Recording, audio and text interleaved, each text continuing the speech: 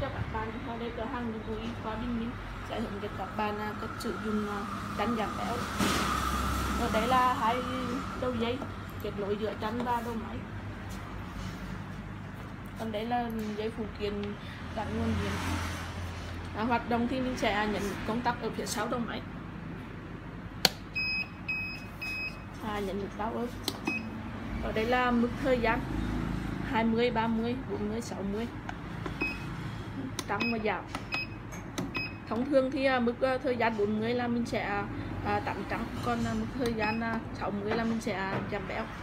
Ở đây gồm hai hai khoang khoang A và khoang B. Thì ở đây có dấu chấm thì mình à, chứng tỏ mình đang à, chọn ở khoang A.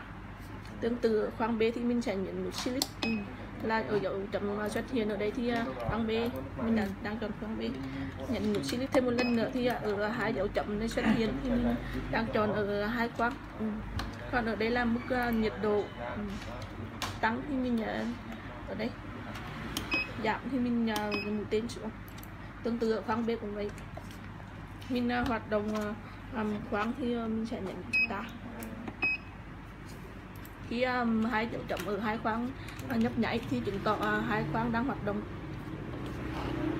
Tắt thì à, uh, nhận nút báo cảm ơn các bạn đã theo dõi video.